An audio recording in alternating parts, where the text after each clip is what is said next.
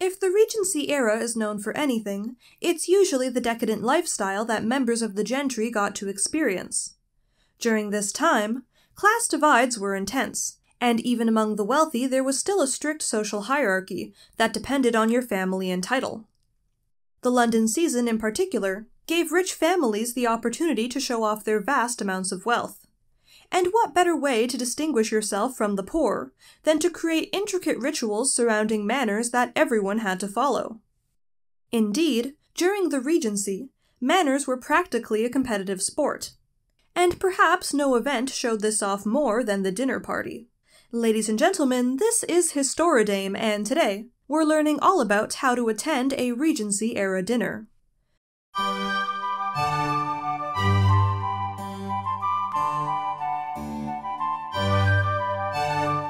A dinner party during the early 1800s was a great way for members of the elite to flaunt their vast amounts of wealth.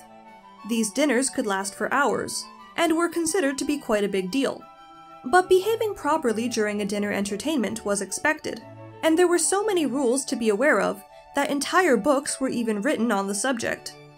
Proper behavior for a dinner party begins upon receiving the invitation, which would be sent out anywhere from 3 to 14 days before the event.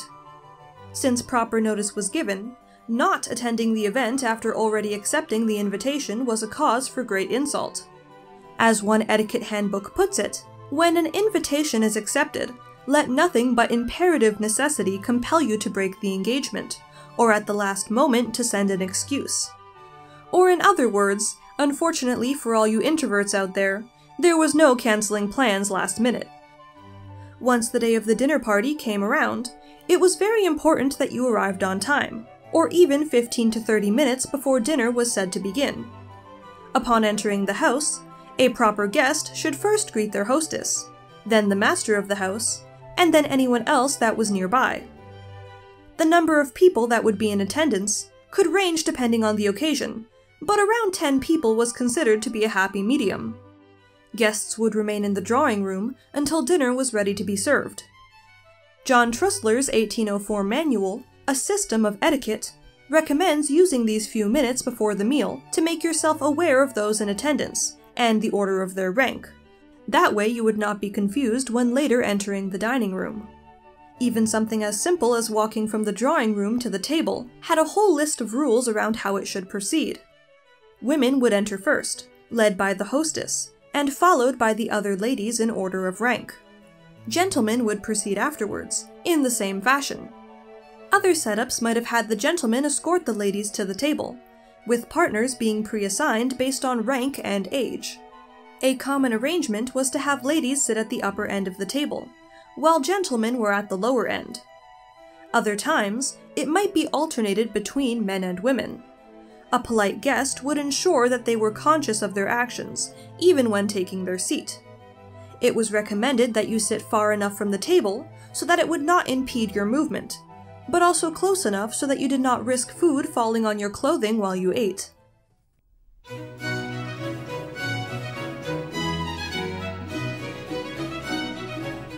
The food, of course, was the main event of the evening. Fine dining during the Regency era was a grand experience, and was drawn out over several courses, each featuring somewhere between 5 to 25 different dishes. There were two different ways to serve dinner during this time. The first was service à la française, where multiple dishes would be placed on the table at the same time, and diners would help themselves to the food, similar to a modern style buffet. In some cases, there were so many different dishes that two people on opposite ends of the table could end up eating entirely different meals from each other. The second was service à la russe, where dishes were brought out in order and servants would give a small portion to each person. The first course would have been soup, of which multiple varieties might have been available. One popular choice for the time was white soup, which was made with eggs, broth, cream, and almonds. Unlike multi-course dinners today, the food served in each remove would not be separated based on type. After beginning with the soup, you could expect any type of dish to arrive on the table next, with both sweet and savory foods being served together. Items such as roasted meats, fish, vegetables, savory pies, cheeses, raspberry cake, and pudding could all be available at the same time. And I don't know about you, but I'm not sure I would want to mix my asparagus with my cake. All of these dishes would be dressed up with an elaborate presentation.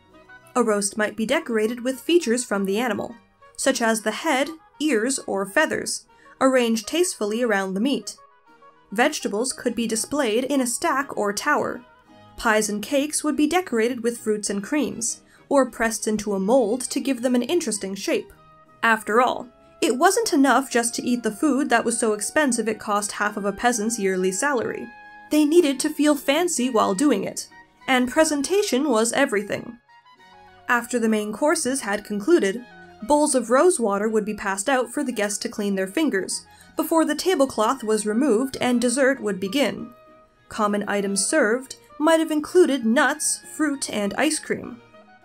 Throughout some of the courses, a pineapple might have also been present on the table. But it was not for the purpose of eating. This fruit would be mainly used as an ornament, to show off how wealthy your host was. If you want to learn more about what made rich people so crazy for pineapples, I've already done a whole video on that. You can find the link in the description.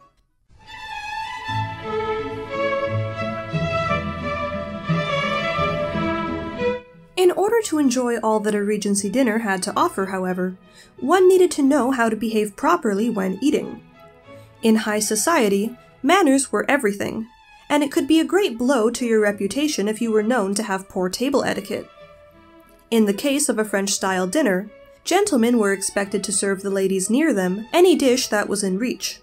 But even putting food on a plate could be a minefield if you didn't know the rules. Whenever a serving spoon was available, food should be transferred from the dishes to the plate using that, with a fork acting as a last resort. A person's plate should never be filled too much, especially with highly sought after items, such as game. And you should never ask to sample the same thing twice, since that would be seen as gluttony. Just ignore the fact that you're eating 25 different dishes for one course, though. If you wanted to access a dish that was far away from you on the table, one should never reach or stand from their chair. Instead, ask a servant to fetch it for you. If something was sent to you specifically from the host or hostess, accept it and do not offer it to anyone else. Eating, of course, should be done with the proper cutlery for each case. The fork was the primary tool for feeding yourself, while the knife acted only as a divider. A spoon could be used for items such as tarts, pudding, curries, and of course soup. When eating soup, however, you had to eat from the side of the spoon, never the front, and be extremely careful not to make any slurping sounds. If it was hot, you had to wait for it to cool down, never blow on it. Food should be eaten at the same pace as the rest of the guests at the table. It was impolite to eat much faster or much slower than anyone else, so one had to be careful to pace themselves based on the people around them. In the case that you experienced the embarrassment of spilling any food on your clothing, remain calm. Wipe the worst of it away with your napkin, and then continue on as though nothing is amiss. There is nothing worse than drawing attention to the incident. While eating, it was important that you made conversation with others at the table. Who exactly you were allowed to talk to, however, depended on how formal the event was. A smaller gathering might have conversation that took place across the table, but in a larger group it was more polite to speak with the people directly on either side of you. As you are nearing the end of the meal, keep in mind that it is best to avoid finishing everything on your plate. Remain at the table until everyone is finished, and the hostess gives the signal to leave the dining room.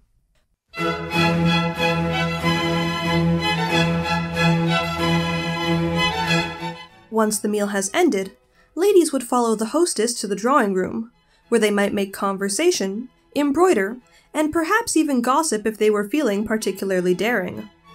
Gentlemen, on the other hand, would remain in the dining room to enjoy a drink of alcohol and discuss manly things that they firmly believed the women could never understand. After about an hour, the gentlemen would join the ladies in the drawing room. Tea, coffee, or punch might be served, while the guests enjoyed activities such as playing cards or even dancing.